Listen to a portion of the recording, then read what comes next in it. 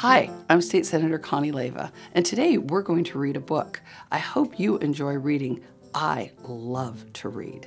Today we're going to read a book called You Are Awesome by Susann Hoffmann. Susann Hoffmann is the author of the book. She's the person who wrote the book. You can be you can be funny. I bet you are all very funny. You can be smart. It's fun to be smart. And you can be fast, like when you're running.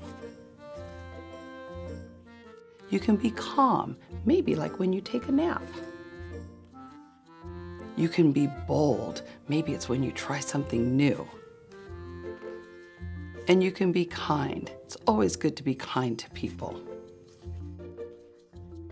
You can be clever. Learning to be clever is fun.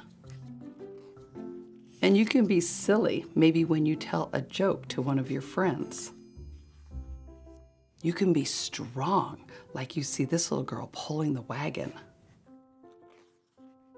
You can be loving, like when you give your mom or your dad or a sibling a hug. You can be brave, like this little girl standing up and reading in front of people. You can be creative. You can learn to draw. You can write. You can be helpful. Being helpful is very nice and always appreciated. You can be anything because you are awesome. The world is a better place because you are in it.